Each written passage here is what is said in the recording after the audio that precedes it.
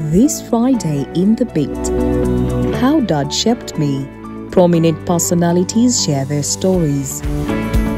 What is in a name is plenty if you're Ugandan, says Kabuye. And help, my boyfriend wants a break. Get your copy now or subscribe to www.epapers.visiongroup.co.ug to read online.